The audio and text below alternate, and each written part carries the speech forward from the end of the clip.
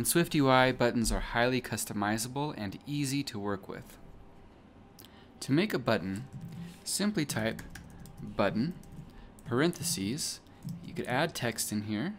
I'll just call this button button, and then I'll add a closure. And I can put functionality inside of this closure. So let's say that we had a view of a circle and we wanted to tap a button to change its color.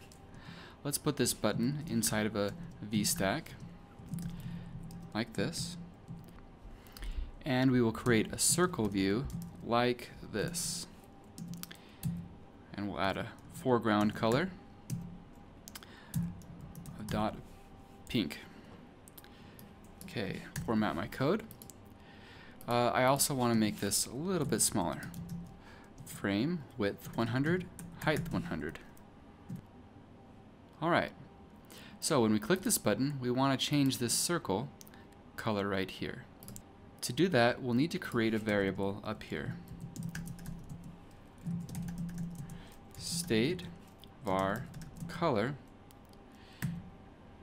equals color dot pink. And then we can use this variable to apply it to our modifier here. In our button, we can change this variable by saying color equals color dot orange. And because we're in a closure, we need to add self to this variable. Now, when we preview our UI, we tap button, and we can see that it changes to orange.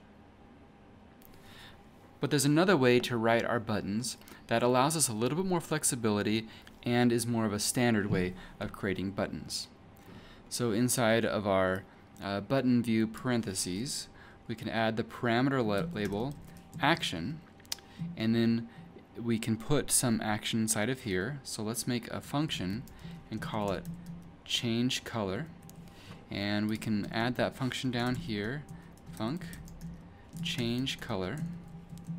And we can put this code inside of our function like this. Now our button is more like a container where we can add whatever views that we want here. So I will call this button change color. And let's preview it. And here we go. There we go, just works as expected.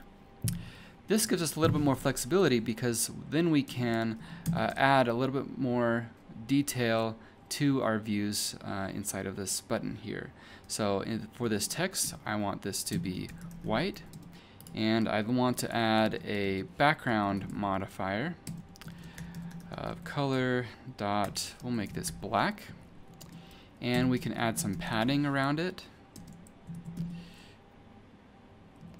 And I'm going to add a corner radius of 4 okay so now we have a nice rounded button. And when we click it we still get the desired functionality so by making a button in this way, you can really wrap almost any view inside of this button and have it work. So you can turn an image into a button or an icon into a button or anything like that. And that's how you make a basic button.